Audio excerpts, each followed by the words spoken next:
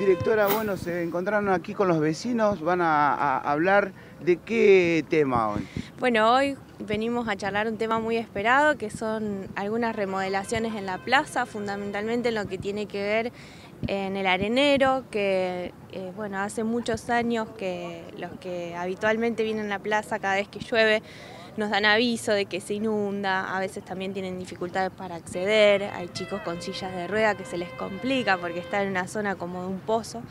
Y también nosotros venimos con esta nueva idea de que eh, ya los areneros cumplieron su ciclo y necesitamos ir hacia algo más seguro, higiénico para las infancias, así que también venimos a plantear un cambio de, de piso con suelos antigolpes, de caucho y con juegos también más inclusivos. Es una buena noticia, directora, porque en la plaza eh, muchas familias son, y no solamente las que viven alrededor aquí del lugar, sino que vienen de otros lugares, una plaza muy convocante eh, la de aquí.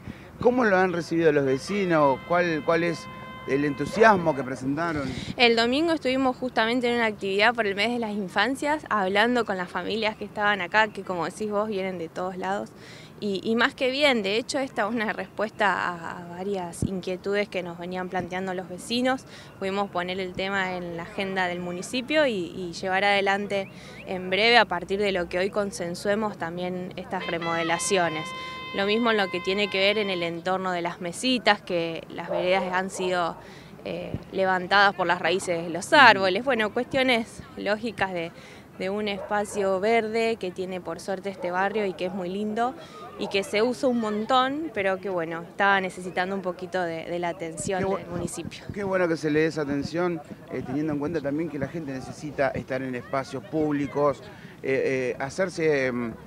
Eh, crear pertenencia ¿no? con su espacio público y, estar en la calle también. Bueno, esta plaza y la mayoría de las del distrito, yo siempre digo, se viven como el patio de la casa de cada vecino y vecina, porque todos están muy atentos a lo que pasa acá, nos dan aviso inmediatamente de cualquier inconveniente, lo mismo las propuestas como las que vamos a charlar hoy. Así que realmente Rosario sigue teniendo ese nivel de pertenencia y apropiación de los espacios públicos que, que tanto nos gusta y por lo que tanto nos envidian también cuando nos visitan.